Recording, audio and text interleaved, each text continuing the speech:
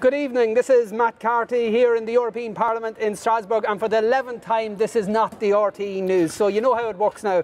Um, this is one of my efforts of trying to keep people at home in touch with what we're doing, keeping you informed of some of the developments that are happening here at a European level, and also introducing you to some of the interesting people that we get to work with. So all you have to do is sit back, relax, get yourself a nice cup of tea. Um, if you want, comment and if you want to win at towards a United Ireland mug all you have to do is hit share and you will be in with a chance um, to win.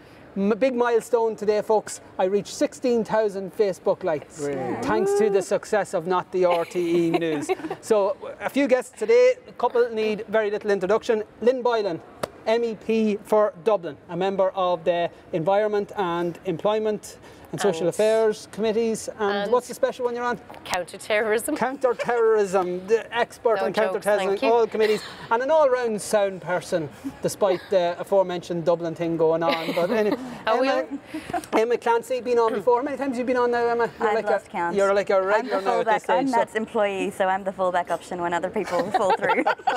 that did not happen. We have people. We have a long waiting list of people who want to come on I, uh, to this uh, show. So Emma is our um, political advisor, economic monetary affairs, Sinn Féin activist, uh, whole Australian leash thing going on there as, as, well. We might get to talk about that. But our special guest tonight is a real live Englishman.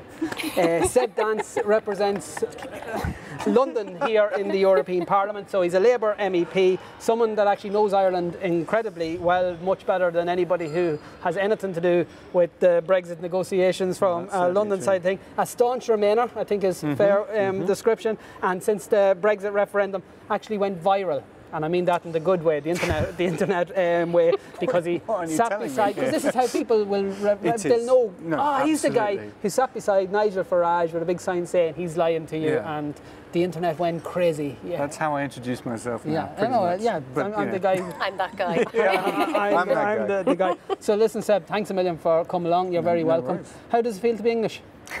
what a question. what a question. Well, how does it feel to be English? Um, well, at the moment, it's uh, being a Labour MEP, it's very difficult, you know, obviously. Because, how many uh, in the Labour delegation here? We, have got 20 of us. Okay, so um, it's a big um, team. And I, it's difficult because we're, you know, we're in this process that none of us wanted, and we're all fighting it uh, for, for many reasons, really. I mean, uh, not only will it decimate jobs in the areas that we represent, but obviously there are huge issues like the Irish border that nobody is really uh, talking about with any uh, with any kind of conviction on certainly in government circles on, on, on how they're going to solve it and mm. it's maddening it's absolutely maddening because yeah, I, I used to work in uh, in, Belfast, I used to work uh, with people who. Just explain that how you. Yeah, so I was a special advisor to the, the Secretary of State for Northern Ireland uh, during the last Labour government. So that was not Shaun Woodward. That was Shaun Woodward. Oh yeah, okay. Yeah, yeah, yeah. okay. Um, and you know, we were delivering the last components of devolution, the um, devolution of criminal justice and policing powers. It was it was the last kind of peg, if you like, in, in the Good Friday Agreement at that stage. And you know, all the work that went uh, to kind of bring two communities together. Um, two communities who wouldn't talk to each other, you know? I mean, it was, it, we all know the history, right? Yeah. And for Theresa May to stand up whenever it was, a, a, few days ago, and say, actually, you know, we're looking at options for the border, uh, Canada, US. Yeah, Canada, US yeah. is one of the, is one of the. I mean, for God's sake, this is a you know a border with with armed guards, and I you know, I've crossed that border yeah. in a hire car. It took an hour you know, just across the border, notwithstanding the queue to get through. I mean, this is just ridiculous. This is fantasy stuff. Um, but of course, you know, each stage, we, we, they kind of get more and more ridiculous. So we start with, ah, oh, do you know what? There's no problem here. There'll be no no no no no mm. problems with the border because we have the common travel mm -hmm. area. Because the, the small thing called the single market that actually removed the checks. Yeah. You know, forget about that. It's the common travel area that will save us. Mm. And then you know we get we get um, uh, uh, fallback after fallback after fallback, and now we're at this ridiculous place where she's talking about a you know the U.S. Canada border. Do you know John Finucane? exist. No, uh, yes, yes, yes, um, yes, yes. Enda Fanning here, who is an avid watcher, who's also watching the votes today in the oh, European right, Parliament. Yes. How sad is that? Yeah. He reckons you're a John Finucane. Uh, we're in the votes and we wouldn't even watch, watch it. So, um, just in, apart from the whole John Finucane thing, um, what's your hope? How do you hope that Brexit well, pans I out hope over it, the I, yeah, I hope it doesn't happen. Right? and do you Uh, think yeah. that's even a possibility? I think it's a possibility. It's a small possibility. I mean, I, I'm not a fantasist. I'm, you know, Mm-hmm. it, it, clearly the government is, is, is driving us that way, and uh, all of the political indicators would seem to suggest that that's where we're heading. So, you know, that's the current path. But you know what? There's so many things that nobody's really thinking through. Um, uh, and uh, yes, the government is in disarray, but actually, quite a lot of the Westminster Parliament hasn't, I think, got its head round many of these issues. We obviously here we're we're at the coalface, if you like, of what it means to be negotiating with. Uh, our uh, EU27 uh, colleagues, but also we know what the European issues are. We know what, what it means to work cross border. We know Yeah. what the supply chains look like. We obviously know what healthcare provision and so on and so forth. In all of the areas that we work on, we understand it. And I think we're trying to get that knowledge back to Westminster as, as, as, as effectively and as well as we can. But, you know, we, I think if anything changes the course we're on, I think events will. Um, and then But people will play catch I'm. I'm just because I'm talking to some guys here, and I, you know, and at home it would have been one of the first things that people said, "Oh, they'll vote again," because that's Mm. what happened in Ireland. And I keep saying the English are very Yeah. different than the Irish because We- we made were- a decision We have a we'll we have a with you know neo-colonial mentality. We Yeah. were you know we. We always, Colonised despite our best mentality, efforts, um, think that It's Jesus were, were, were, you know, somebody, you know, there's someone greater or worse, whatever. But the English are very different. You were the colonizers, so in the me, sense that no, yeah, yeah, no, That's right. but in terms of I- the mentality, I try and do my so I, colonising I on always got the sense that if it went back to a vote again, the English people would actually um, arguably vote in greater numbers to leave. Uh, I don't think they would, um, for, for, for the following reason. What you've seen is that the polls are, um, first of all, in terms of the mentality thing, nobody wants to admit they made Yeah. a Yeah. bad decision. That's, that's you know, human, right? But I think what you're seeing with the polls is that they are shifting very, very, very slightly towards Remain, only in one direction. Yeah. Very little slippage the other way, which tells you two things. Because the first thing is there's a group of people who say, look, the decision's been made. I voted Remain, but look, let's just get on with it because, you know, we had the referendum, blah blah blah. There is an bigger movement the other way from people who voted leave who are thinking well this isn't what i voted for i thought this would be quick i thought this would be cheap i didn't realize that this would end up costing us Yeah. money and you know that group is the group that we should be thinking about because they're the ones that obviously swung the vote in favor of uh, leave by a very small margin and they're having second thoughts i think a referendum on what the on what the options are would deliver given what the alternatives to being in the European Union are, would deliver a result that would How did Labour vote in the, on the Brexit referendum? This on the Uh, resolution. We, uh, we abstained res- on the resolution because uh, we think primarily for the EU27 this is their position, but we obviously support the logic and, and, the, and the rationale behind it, particularly on the, the words, uh, the wordings uh, um, uh, to strengthen. Uh, the environmental and uh, workers' rights standards, which we Yeah. don't want to obviously see any Yeah. slippage, but we, we would want to go further. Any future agreement with the United Kingdom has to have at its very core the maintenance of those very strong standards. We as a group, of course, along with you guys, we have been fighting for this Yeah. for years and years and years, and we can't just, if we're to leave, we Throw can't just walk away and yeah. say, oh, and do you know what, it doesn't matter. I should Yeah. also say the resolution was very strong in relation to Ireland, um, and that was Hmm. in large part due to the work of Martina Anderson, of course, who does fantastic work on our behalf, but also Brian Carty, who was on with us before, who behind the scenes has the tedious task of sitting on the Brexit steering group and Hmm. doing um, a, a, a lot of work. We'll come back to you in a minute, um, Seb. Emma, will you pick a number between 1 and 79, please? Uh, 60. 60. Usually, the, most people go on the lower end. Okay, so this is to see who has won the mug from last month. 60. Sinn Féin Clacian Fala. or Clan. Clanili um, Sinn Féin. Okay, so whoever moderates that page, we're going These to are get. fighting uh, over one mug. uh, um, no, well, there's usually one. There's usually one moderator of these, you know, um, co- common um, um, things. So, Emma, what have you been working on this week? Um, well, we've been working on a lot of tax issues as usual, um, but Emma was worried that she'd become typecast if I asked her about I'm taxation tax issues uh, again, and that she wouldn't get any roles on. Uh, so uh, yeah, we all we had a good crack at Donald Trump and the European Commission today on trade. Yeah, so I I think there's also a lot going on on trade that we haven't actually really, well, we haven't hasn't really been discussed on your show. Um, you obviously spoke this morning in the plenary debate on the the US government's announcement that it was going to impose uh, new tariffs on steel and alumini- aluminium. Um, but I think the discussion that we need to have is about the EU's trade policy and how it is emulating the the previous um, US, you know, for decades, uh, their their standards, their approach, um, and we've seen the results of that in the United States, and we've seen the disenfranchisement and the huge increase in inequality, not only to do with trade um, trade policy, but other policies, of course, as well. Um, so recently, about a week ago, the there was a report, the new, the World Inequality Report of 2018. Um, it's an extremely important report that actually doesn't look at just the um, the the decrease in inequality between countries, but it looks at the increase in inequalities within those countries. So, what we see is that. Um, I mean, there have been, you know, analyses done of it, and uh, looking at some of the myths of globalization. Um, of course, we, you know, I think most people watching your program would would be aware that the trickle down uh, myth is just that, a myth. Um, but the, the the key finding was that trade doesn't cause poverty or inequality. Policy causes. Yeah, absolutely, and that's uh, yeah. But Trump has exploited the whole Oh, of course, of course. disenfranchisement that, I mean, that the- it's made, and that's I think the- you know in many cases the, the Commission, the European Commission, are going straight into that trap again. They're Yep. allowing this descent to uh, um, to, to So if, if you look at what happened, I mean, the, the real reason why the why working people uh, in the United States are so um, vulnerable to being exploited in the, in this way is primarily because of NAFTA. So you have you've had a couple of decades now of this disastrous trade agreement. So Bill Clinton promised that NAFTA would create uh, 20 million jobs in the United States, export-led jobs. Um, when in- in fact uh, studies have shown that actually NAFTA resulted in a net loss of 1 million jobs in the US. And then obviously for people in Mexico, for farmers, for workers, it was even worse, the results.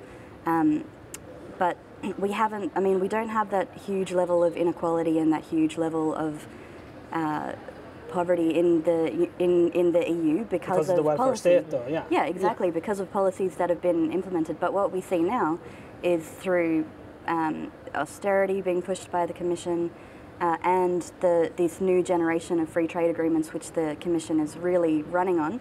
Um, it's it's inevitable that it's going to actually cause a massive increase in inequality in I was listening to Nigel Farage yesterday. He claimed do that that yourself. It's not worth it. he, he goes, the, the Brits and the US under Trump Oh, could yeah. uh, 48 negotiate a trade deal under 48 Sure. uh, in 48 hours. hours. Why thinking, if you put Nigel Farage, Yeah. Theresa May, and Boris Johnson in a bro- Yeah. brewery for 48 months, they still couldn't organise a piss up. Never mind actually negotiate a trade a trade deal. Um, but where were you with the sign? He could have. I you- know. I, I, I should basically. I, I was thinking I should have just a T-shirt and I should just surreptitiously Yeah. sit next to him. Yeah. I could have one pointing left, one pointing right, depending on what seats available. You know. And Lynn, I it's want- stupid. Yeah, I wanted to um, talk to you a bit about neutrality because Fine Gael, for the first time, are actually being a bit honest about where they stand on Irish neutrality. Absolutely. I mean, we see how they vote out here all the time, so we know that they, I mean, their voting records clearly shows the direction that Fine Gael wants to take Ireland in, which is, of course, just abandon neutrality and sign up. Uh, you know, fully to the Common Security uh, Defence Programme. So they produced this document on Friday, but you know, the Brian Hayes logic um, of neutrality and how we need to reconsider it because it'll make Ireland somehow safer from the threats is like the Donald Trump school, you know, school of thought around guns. It's like how to make Ireland safer. Well, let's make it easier for us to enter into conflicts and actually add more arms and we- weapons um, in the process. So, you know, we've gone through the document. It's you know, there's nothing new and there's nothing surprising as such, other than the fact that at least they're, They're now, they're, it, at least yeah. they're now coming out publicly and saying it, um, so we can have that debate. Um, but yeah, I mean, like only yesterday they voted to give half a billion of EU budget to this. Uh, European uh, development body, which technology development, which is effectively giving money to the arms industry. Uh, they say people. the way that they get around the EU rules around not spending EU budget money on military capabilities is that they say, well, it's for research, but it's arms companies carrying out the research. Um, so we're subsidising the arms industry. thanks to Fine Gael. Yeah, well, um, yeah, it's, it's a big issue because it goes to the heart of and I think it's a starting point because I think it's it's fair enough to have a discussion on it. But your starting point is it.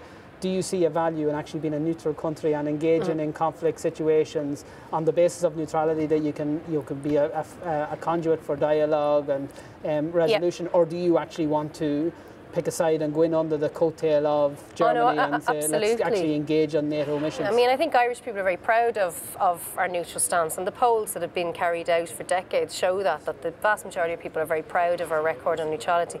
But also, it does allow your peacekeeping forces to go in, and they are seen then as honest brokers. I mean, what, what Brian Hayes and his three Fine Gael colleagues are proposing is to look at the triple lock system, which is where the Irish government would have to support uh, military action uh, the Dáil and the UN would have to sanction it. They wanted to do away with that, and one of the proposals they're saying is with the European Council could decide, and then you'd have the Dáil vote as well. But I mean, only before Christmas they voted to remove Ireland's veto at the European Council in terms of common security yeah. defence. So we're going to hand over to the EU and the big countries who, of course, are living out the legacies of their imperial past, and Fine Gael want us to go in and, uh, and join their ranks. So it, it is a dangerous, I mean, it, it, it's dangerous territory that they would be taking us in. It means we can take them on now because at least, because the, there's nothing more frustrating than when you're actually pointing out someone and they're just saying no we're not which is what Fine Gael were always doing on Fianna Fáil as well on, on neutrality because you'd say you're undermining our neutrality. So no we value our neutrality and then like I was looking back today at some of the old Lisbon Treaty referendum particularly the second one. The triple lock was this guarantee. Yep. you, we don't, you don't need to worry about Irish neutrality because the triple lock is there and we were making the case rightly as it turned out that well actually no the triple lock is only there so long as we actually have a government you can trust and uh, absolutely we, I mean and, and, like it, you know in, in the debates he's, he's giving the example of Macedonia and you know how Ireland mm. couldn't go in and help there because the UN didn't sanction it but I mean we all know the very the, the, the, big war, the one that we're still living the legacy mm. of, the war in the, the, Middle East, was a war that wasn't sanctioned by the UN. So, I mean, mm. like the UN is absolutely flawed, it has its problems, but it is the system that we have and we can try and reform it, but don't try and, and you know, just sidestep exactly sidestep the UN and, and give it over, give the decision making over to the European Council. Just before I come back to Seb, Emma, the new committee, the taxation committee, just I know you don't want to, but just spend 30 seconds explaining what it is and how we're going to use it. Um, well, it's pretty exciting, actually. Uh, Matt has just been appointed as the vice chair of this committee. Very everybody. Exciting. Congratulations. very exciting. Yeah. Um, so the committee, it's called. Which is a very powerful position. I can assure Enormously powerful. Yeah. I'm not even worthy to sit. no, of course, can feel the to power. sit up the front at the hearings instead of sitting, you know, at the back. um, so yeah, the the committee has been set up to examine financial crimes, tax evasion, and tax avoidance. Um, so you probably would have been, uh, well, hopefully you would have noticed that Matt has been very active on this issue um, over the past couple of years uh, and was um, very active on the Panama Papers Inquiry Committee. So that committee came to an end in um, December last year. But before it did, um, the Paradise Papers leak from the law firm Appleby happened. Um, so uh, MEPs were very eager to continue their work on uh, combating money laundering, um, ta corporate tax avoidance, and tax, uh, tax, tax avoidance and tax evasion.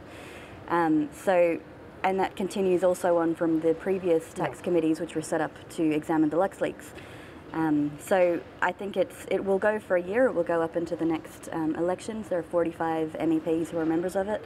Um, during the negotiations, we were able to put in things like um, or win support for uh, examining bilateral tax treaties. So that will give us the opportunity to look at how the double Irish remains in place through Ireland's network of tax treaties. Um, we also put were able to get a focus on the role of the UN in addition to obviously we see the conservatives kind of constantly pushing this OECD, thing of yeah, yeah the, the, OECD which is just you know it's an important body but it's essentially a, a, club of rich countries and the developing countries don't actually have a seat at the table. They're obliged to implement the rules but they don't actually get to participate in the decision-making process. So that was another big focus for us. We'll come, we'll come back to that because I want to talk to Seb. Just to remember, keep hitting share to be in with a chance to win the mug. Somebody has asked the question as to whether or not they are machine washable.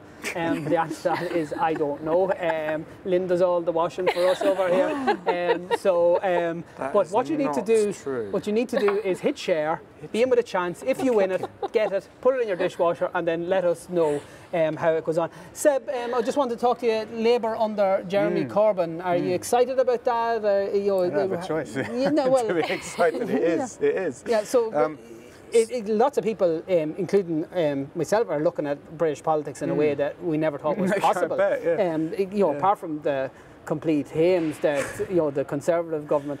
But what's, hap- amazing, what's happened on the left is quite Yeah, phenomenal. Like yeah. you actually have you know a self-declared socialist um, um, leading the party, and you know huge numbers of young people um, Mm-hmm. joining. You know, what, where, where do you sit on all of this? And Well, it's um, uh, I'm increasingly, you know, of the view that we are living through the most extraordinary transformation that none of us really can No. can understand. Because uh, you know, the thing about historical periods is you don't really know you're You living know in you're one there, yeah. until the, until people write about it years Yeah. afterwards. But Except if you're in Sinn Féin, everything we well, do is, always- is historic. exactly, everything's You know, we, historic. we Um, organise a common meeting, it's historic. It's yeah. the 11th show. It's I am part of history today. I'm Yeah. very, and you know, Yeah.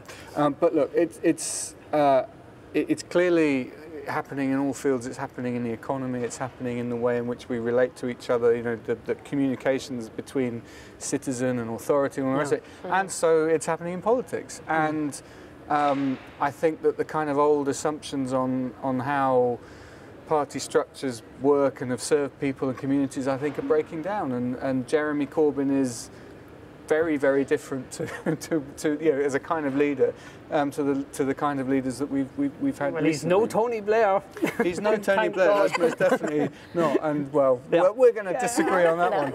I, I, He, I Tony did great work in Ireland. did- There's no doubt about it. He just Ireland. He fucking did great work in caused almost havoc Well, across the globe yeah, and another. yeah. But that's a different yeah, debate it- for another It is day. a different debate, Yeah. but it's. Uh, But it's, as it's a, la- as a Labour representative, you must be confident about the next general election, though, in terms of. I, I, well, look, people are joining the party. Um, we're, we're tapping into an energy and a, a cry for change that is, is real, and we have to, you know, we have to, we have to deliver the right kind of change. yeah.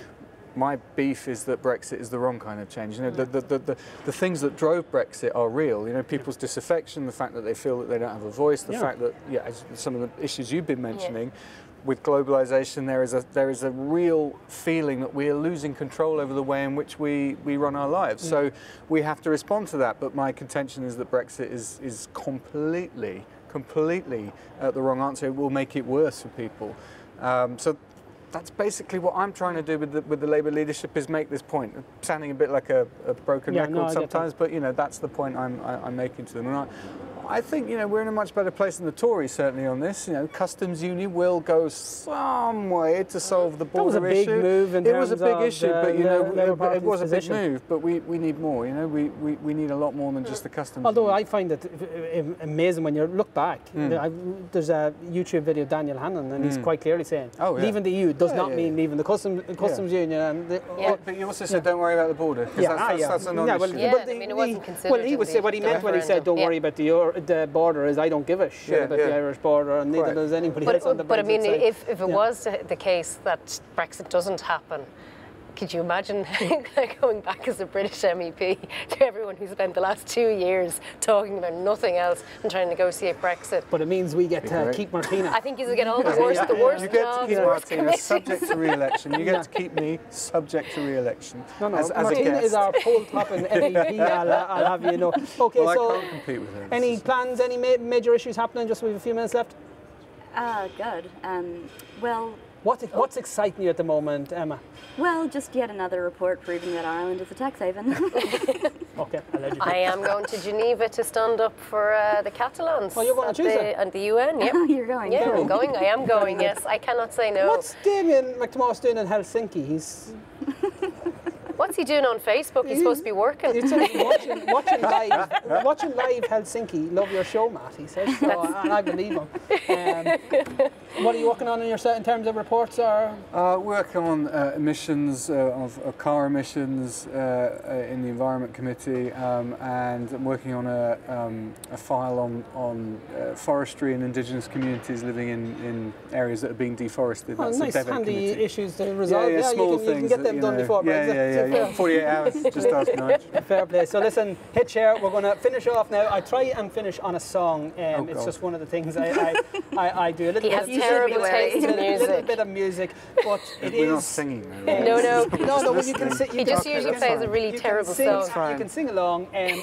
it's St. Patrick's Day Way. on um, Saturday. Damien, Damien, who you just mentioned, is organising a potato party for people in Brussels. Okay, that I don't know. is either Because they don't have enough very- potatoes in Brussels, yeah, right? Very ingenitive or um, very insulting. I'm I'm not, saying I'm I'm very sure. proud of my office, my sure which. officer. But listen, wherever you are, and especially those people who aren't going to be in Ireland, have a great um, St. Patrick's Day. Thanks a million. Thank you, Seb. Not Thank you, Emma. Thank you, Lynn. Happy St. Patrick's Day. Happy and And up the dogs next weekend, weekend after. Dancing.